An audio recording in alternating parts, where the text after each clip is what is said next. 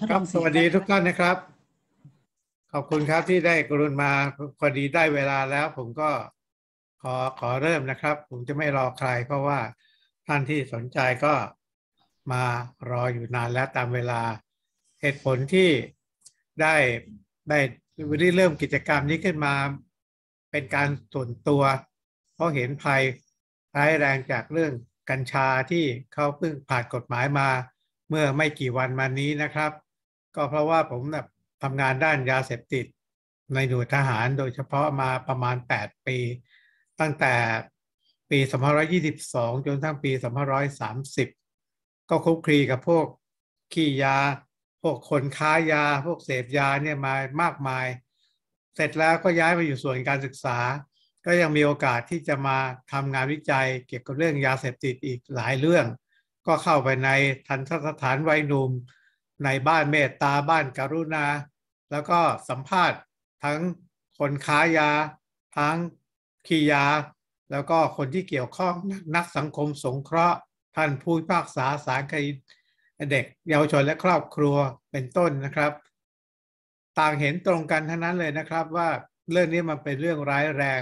ไม่ใช่เรื่องกฎหมายนี้นะหมายถึงว่าเรื่องยาเสพติด แล้วก็ที่พบมาเนี่ยเป็นความจริง ที่เถียงไม่ได้ว่า ถ้าหากมันไม่เริ่มต้นจากบุหรี่หรือว่าเหล้าเนี่ย พวกติดยาจะไม่มีวันที่จะไป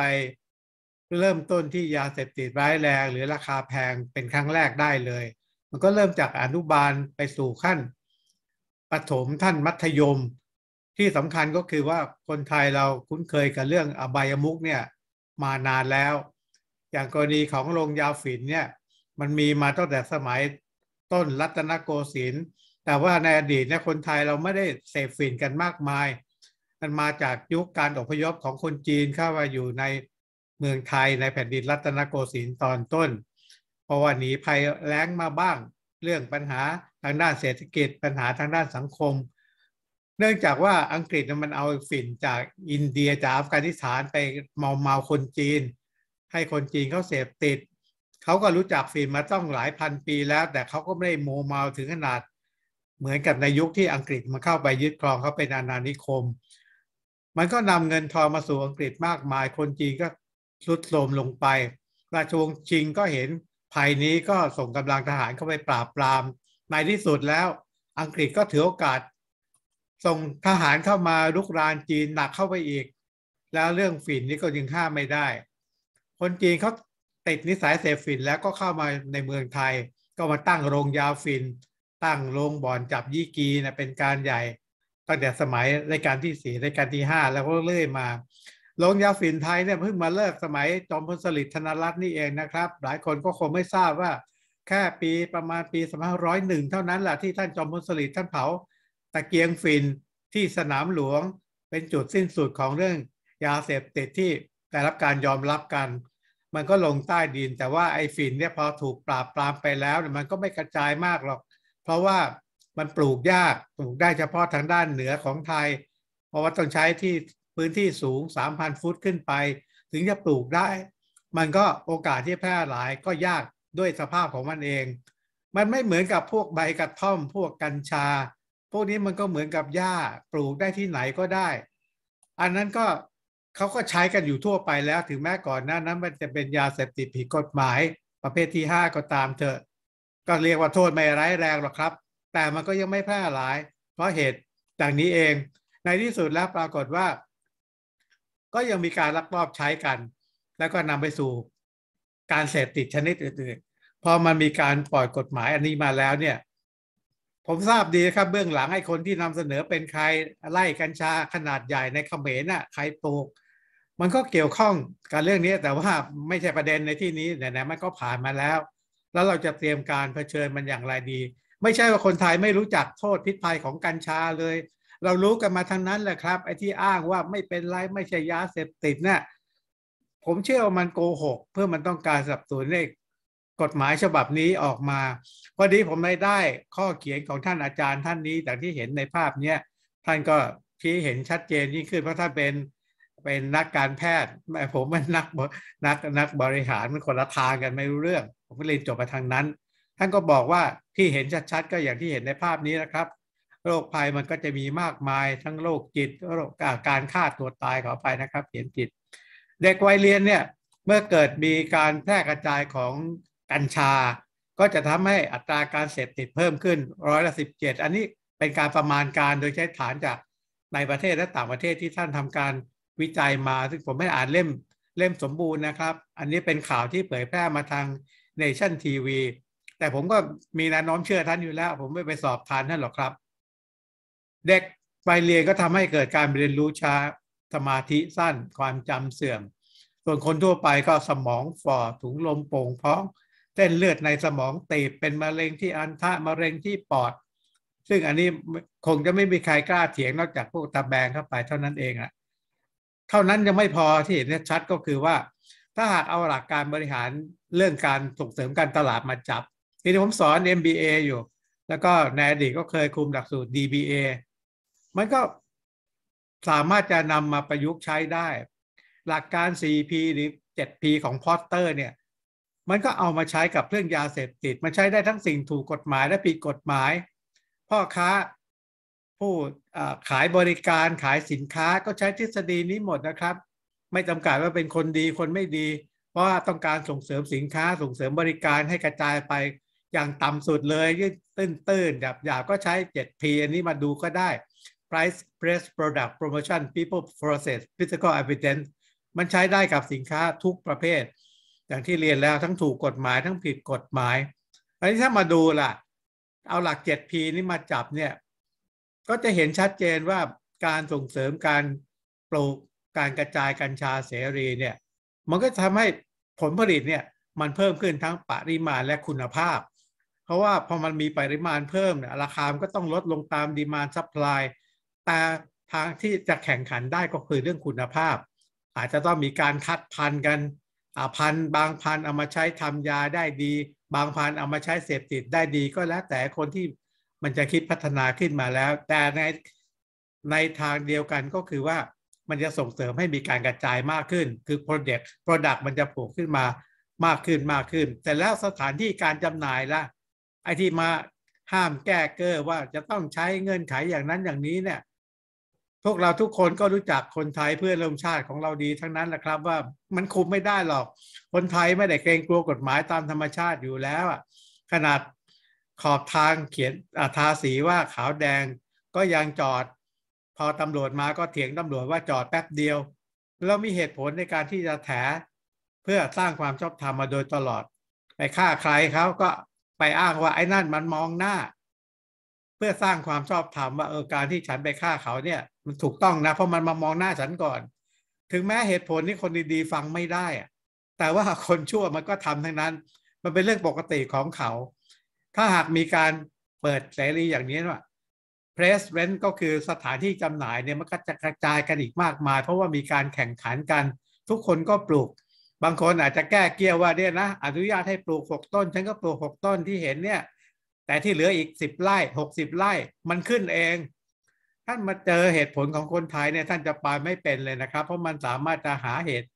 มาสนับสนุนได้ตลอดเวลาไม่การควบคุมสถานที่จำหน่าย ถ้าหากเปิดเสรีมันทำไม่ได้ในกรณีต่างประเทศเดี๋ยวท่านอาจารย์วิทยากรหลายท่านที่ท่านมีประสบการณ์ มีความรู้สูงกว่าผมนี่จะชี้เห็นชัดเจนว่าเขาควบคุมอย่างไร ไม่มีที่ไหนเขาเปิดเสรีอลึงชึงแบบแบบนี้หรือแบบที่มันจะเป็นในขณะปัจจุบันและต่อต่อไปด้วย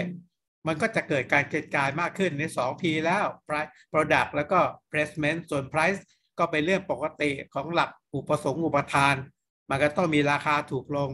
ผมขอเรียนนะครับว่า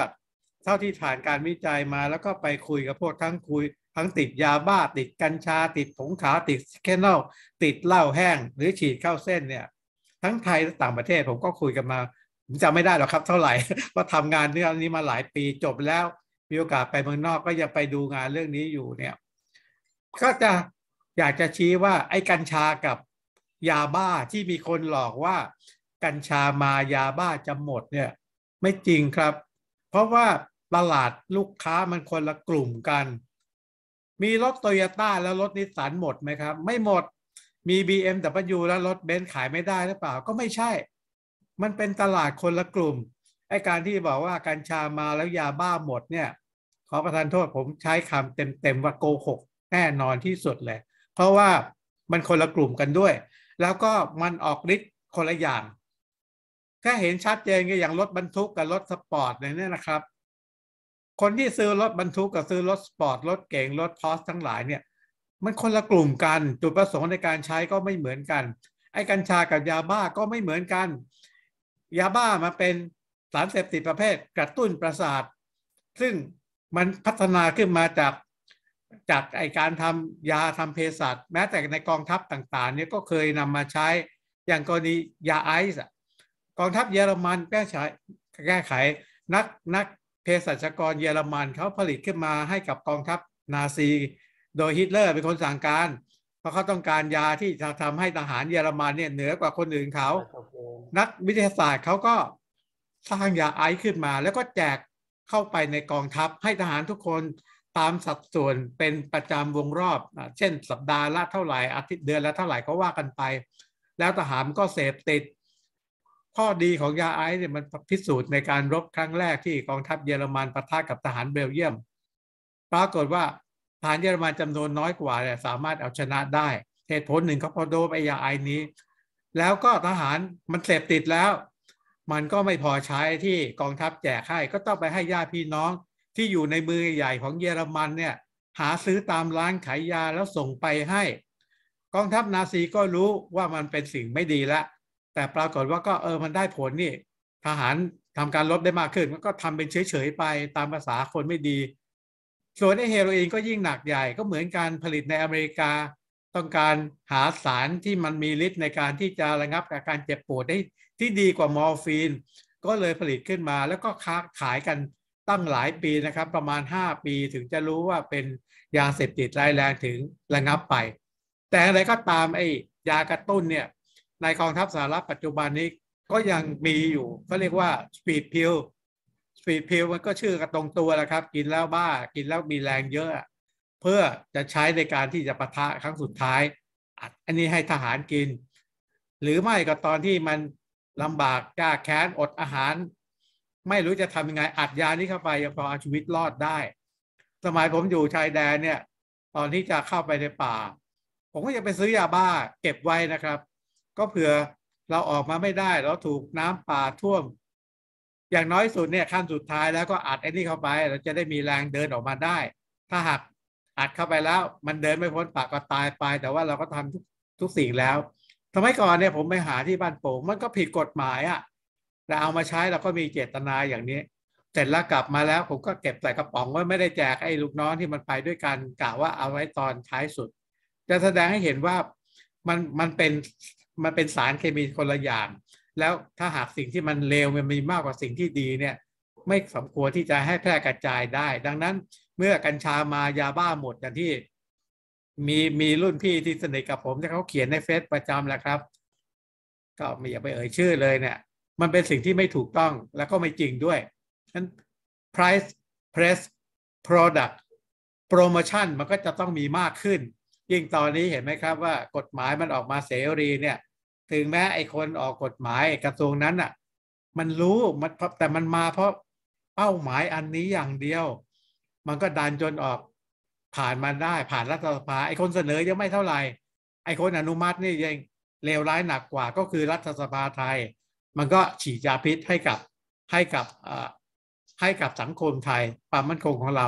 ด้วยเหตุนี้เอง เสร็จแล้ว ถ้าหากขยายอีก 3 ตัว price trade product promotion people process physical evidence มันก็ตามมา พวกขี้ยาเนี่ยมันรู้กันนะครับ ถึงแม้มันจะไปในสิในพื้นที่ที่มันไม่เคยรู้จักเลยเนี่ย ผมเคยถามหลายคนเลยว่าเฮ้ยถ้าไปต่างจังหวัดเอ็จะไปหายาที่ไหน บอกรู้ครับ ผมดูกันเองออก ถ้าหากมันกลัวมันก็หาข่าวไปก่อนว่า ก่อนที่จะไปจังหวัดนั้นจังหวัดนี้มีที่ไหน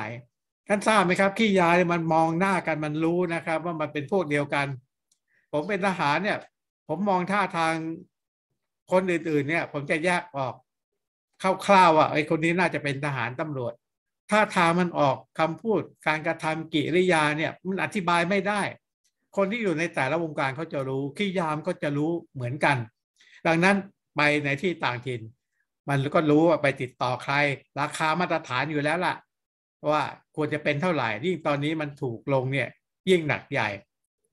people process มันก็ตามมากระบวนการก็จะง่ายขึ้น เพราะว่ามันแพร่หลายมากขึ้น แล้วก็ physical evidence ก็คือ ไม่ว่าจะเป็นบรรจุภัณฑ์หรือว่าการนำเสนอเนี่ยมันก็จะพัฒนาขึ้น เพราะพอหากมีการส่งเสริมอย่างนี้แล้ว ถึงไม่ได้ส่งเสริมด้วยปากเนี่ยแต่ส่งเสริมด้วยการกระทำเนี่ยมันก็จะทำให้ไอสินค้าเนี่ย มันพัฒนาตัวเองได้มากขึ้น เหมือนโซลาเซลล์ไงครับ ตอนนี้เห็นไหมครับ มีการส่งเสริมพลังงานทดแทนติดโซลาเซลล์ราคาก็ถูกลงประสิทธิภาพก็สูงขึ้น ผลิตไฟแต่ละแผงก็ได้มากขึ้น มันก็เหมือนกันเป็นธรรมดาของสินค้าทุกชนิดอยู่แล้ว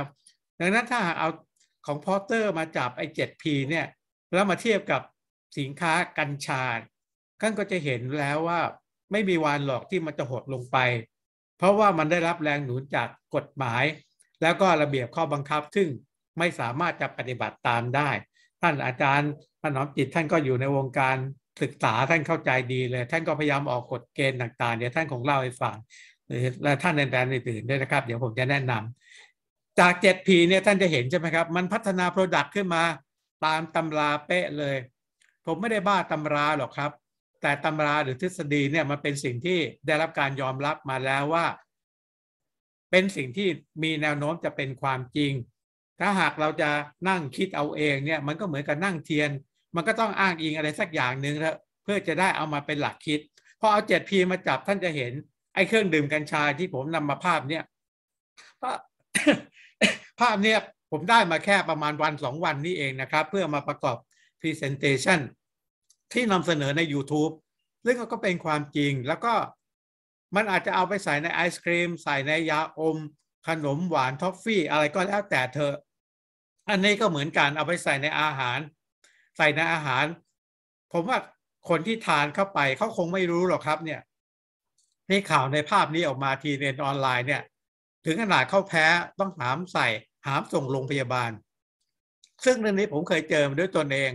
สมัยเป็นร้อยตรีเนี่ยผมก็ถูกไอ้ไอ้พลานที่จังหวัดเลยเนี่ย มันนำทางเข้าไปในป่าเนี่ย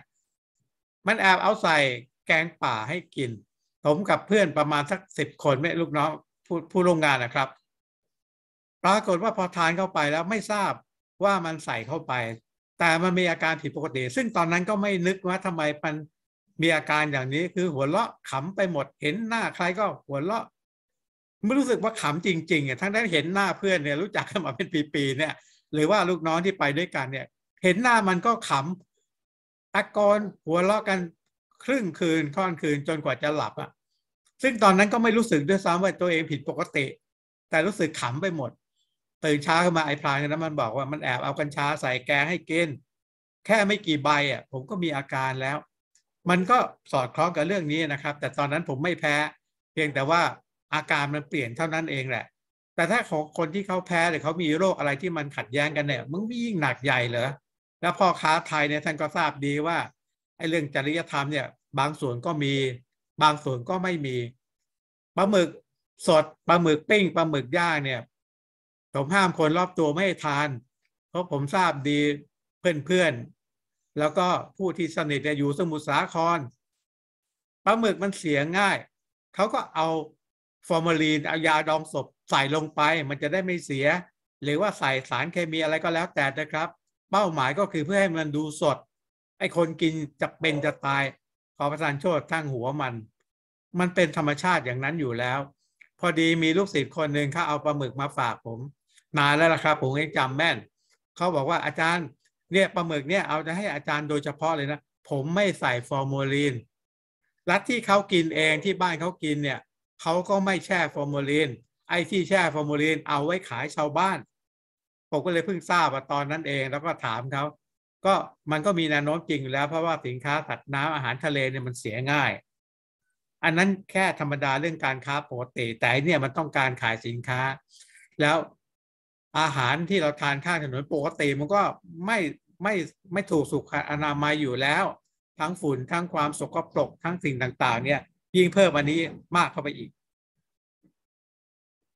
เสร็จแล้วก็เริ่มมีนะครับ ขนาดท่านคิดดูนะครับ ผ่านมาสิบวันหรือเปล่าก็ไม่ทราบในกฎหมายฉบับนี้นะครับ มันก็ใส่กันเป็นการใหญ่แล้ว ผมเห็นหน้าท่านเจ้าหน้าที่ออยท่านเนี้ย ผมก็รู้สึกสงสารท่านนะครับ ท่านจะไปไล่ตามบรรดาไงล่ะ เพราะว่ารัฐบาลมันเสนอกฎหมาย รัฐสภามันปล่อยผีออกมาแล้ว เหมือนปล่อย แพนโดราเปิดทีแพนโดราปีศาจมันออกมาแล้วอะแล้วจะมาไล่จับมาออกเป็นกฎหมายข้อบังคับ ห้ามปรามมันเป็นไปไม่ได้ มันแก้เก้อเท่านั้นเองขออนุญาตนะครับพอดีอันนี้ก็มีข่าวเมื่อเมื่อวานซืนนี่เองครับ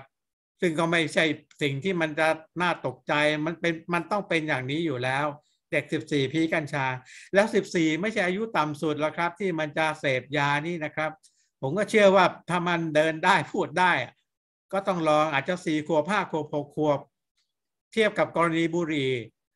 ที่ผมไปเจอเด็กที่บ้านเมตตาเนี่ย เด็กคนนั้นอายุแปดขวบ ปรากฏว่าพ่อมันขายยาบ้า มันให้ลูกคนเนี้ยขนยาบ้าไปส่งลูกค้า เพื่อจะได้ตบตาตำรวจ ตำรวจเห็นเด็กเนี่ยก็คงจะไม่สงสัย แต่ตำรวจเขาก็รู้ดีกว่าผู้ร้ายอะเขาก็ไปตรวจสอบเขาก็เจอ แล้วก็ส่งบ้านเมตตา พอเดินเข้าไปครั้งแรกผมรู้จักเด็กคนนี้เพราะเขาเดินเข้ามากอดเขาเรียกพ่อพ่อ ผมก็งง เราก็กอดตามเขาอะยังไม่รู้เรื่องก็ตกกระไดพลอยกระโจนไปก่อน แล้วก็ถามผู้ปกครอง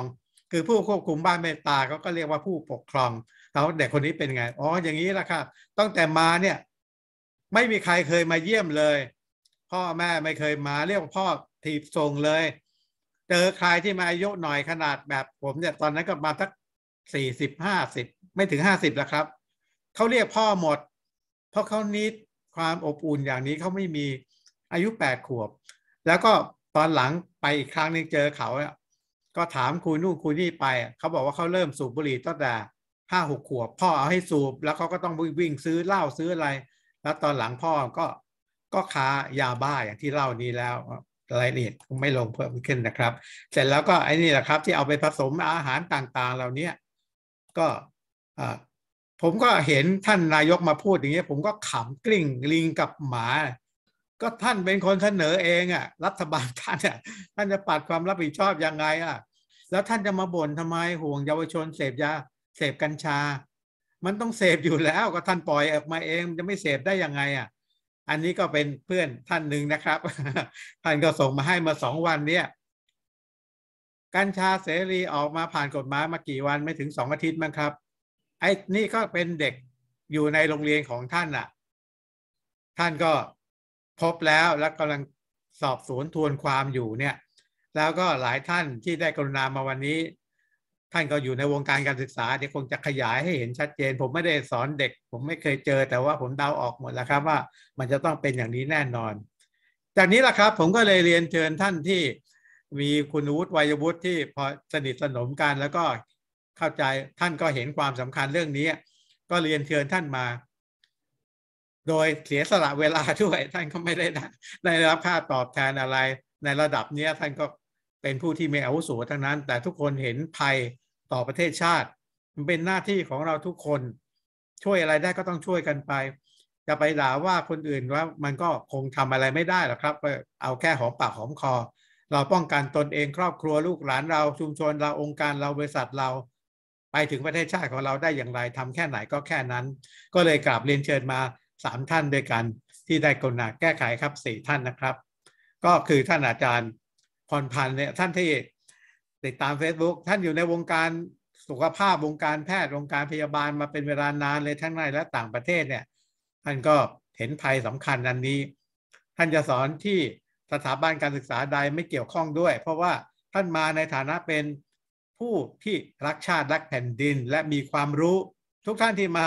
ในครั้งนี้นะครับ มีฐานะนี้ทั้งนั้นแหละครับ ไม่ได้เกี่ยวข้องกับองค์การใด ๆ ทั้งสิ้นที่ท่านทำงานด้วยหรือว่าเกี่ยวข้องด้วย มันเป็นเรื่องส่วนตัวของเราที่อย่างเรียนแล้วก็คือช่วยอะไรได้ก็ต้องช่วยกันไป ดังนั้นท่านพรพันธ์ท่านได้กรุณามามาให้ข้อมูลความรู้ในครั้งนี้นะครับ แล้วท่านได้รับรางวัลปีห้าปีหกหนึ่งนี่เองนะครับใกล้ๆนี่เองอย่างที่เห็นในภาพครับ เป็นผู้ทำคุณประโยชน์ต่อประเทศชาติดีเด่น ในรางวัลปูชนียบุคคลไทย ต่อมาก็คือท่านอาจารย์ถนอมจิ ขุทกะพันธ์ท่านเป็นอาจารย์อาวุโส ทั้งในช่วงที่ท่านรับราชการ ตอนที่ท่านเกษียณมาแล้วท่านก็อยู่ในวงการการศึกษา ท่านปัจจุบันก็เป็นผู้อำนวยการโรงเรียนอัธวิทย์เพื่อเป็นโรงเรียนราชก่อนหน้านั้นท่านก็เป็นโรงเรียนหลวงตลอด ท่านก็รับราชการเป็นผู้ในการโรงเรียนเจ้าพระยาวิทยาคม ท่านอาจารย์พรพันธ์ท่านสอนอยู่ในมหาวิทยาลัย ท่านอยู่ในวงการการแพทย์ ท่านอาจารย์ถนอมจิต อยู่ในวงการนักเรียนประถมในปัจจุบันนี้ยังไม่พอครับ ก็ยังมีท่านสุภมาเสนะเสนเวทครับไปครับ ท่านที่ติดตาม Facebook ก่อนนั้นสุภมาศก็คงจะคุ้นเคยนะครับว่าท่านก็แสดงความคิดเห็นนี่มีจุดยืนชัดเจนในเรื่องของชาติบ้านเมือง ท่านจบการศึกษาทางด้านนิติศาสตร์จากจุฬาลงกรณ์มหาวิทยาลัย ปัจจุบันนี้ก็ยัง เกี่ยวข้องอยู่ในวงการสังคม ในวงการสตรีไทย แล้วก็เสนอความคิดเห็นต่างๆ เป็นคุณประโยชน์ ก็ท่านก็ได้ให้ความกรุณามาในครั้งนี้ด้วยครับ จากนั้นท่านอาจารย์ปัญญากรเวชศาสตร์เนี่ยท่านอยู่ในวงการโรงเรียนมัธยม ซึ่งก็เป็นกลุ่มเป้าหมายโดยมาเต็มๆในเรื่องกัญชานี้ เพราะว่าท่านเป็นเด็กที่กำลังจัดโต เหนือกว่าเด็กประถมเพราะเด็กรุ่นนี้จะมีปัญหามาก ถ้าท่านเคยอ่านนวนิยายถึงชีวิตจริงของท่านสุวรรณีสุคนธาเรื่องของน้ำพุผมจำได้แม่นเรื่องนี้ผมอ่านตั้งแต่ก่อนเข้ามหาวิทยาลัยเลยเนะี่ยท่านเอาประสบการณ์ชีวิตจริงที่ท่านมีบุตรที่มาเกี่ยวข้องกับวงการยาเสพติดเนี่ยจนกระทั่งท่านต้องสูญเสียบุตรคนนี้ไป เอามาถ่ายทอดเพื่อเตือนเตือนคนทั้งหลาย ชื่อเรื่องเรื่องของน้ำพุ อีกเรื่องหนึ่งผมไม่แน่ใจท่านธมยันตีหรือเปล่านะครับ ขอประทานโทษถ้าพูดผิด ก็คือเรื่องทางโค้ง ไม่แน่ใจท่านธมยันตีหรือสีฟ้าละดาวัน คือผมอ่านนิยายมากที่บ้านเนี่ยพี่สาวผมซื้อนวนิยายรุ่นหลังสงครามมาเยอะ เรื่องทางโค้งก็เช่นเดียวกันนะครับ เป็นเรื่องของการพูดถึงเด็กระดับที่กำลังจัดโตเนี่ย มันเหมือนกับขับรถเข้าทางโค้ง ถ้าหากควบคุมไม่ดีก็หลุดโค้งก็คือหลงไป ติดยาเสพติดหลงไปเกี่ยวข้องกับพวกเด็กไม่ดีที่มาปั่นป่วนประเทศอยู่ในขนาดนี้นั้นปุ่มนี้เป็นปุ่มเป้าหมายสำคัญโดยเฉพาะเลย ก็จึงจำเป็นจะต้องระหนักถึงเรื่องนี้โดยตรง แล้วเมื่อเช้านี้ก่อนที่จะเข้าห้อง ผมก็หาข้อมูลเพิ่มเติมมา อันนี้ผมก็ได้มาล่าสุดนะครับ วันที่ 30 พฤษภาคมภาพจากสยามรัฐออนไลน์ มันก็เป็นไปตามที่เรา คาดการไว้ไม่มีอะไรเหนือกว่านั้นเลย ก่อนหน้านี้ในปี 2557 ภาพล่างเนี่ย ไม่ใช่ภาพยุคใหม่นี่เลย กี่ปีแล้วล่ะครับ 57 ก็ประมาณ 7-8 ปีแล้วแหละที่โรงเรียนสัตหีบมันก็พีกัญชากันอยู่แล้ว เพราะกัญชาเนี่ยเป็นเรื่องที่มันกระจายกันอยู่ตัวทั่วไป นั่นขนาดยังไม่มีการส่งเสริมแบบปัจจุบันเนี่ย มันก็ยังสร้างความเสียหายขนาดนี้แล้วนะครับ ขอทานโทษที่พูดยาวไปนะครับ เพราะว่าอยากจะชี้แจงให้เห็นว่าความเลวของมันเนี่ยมันเลวร้ายจริง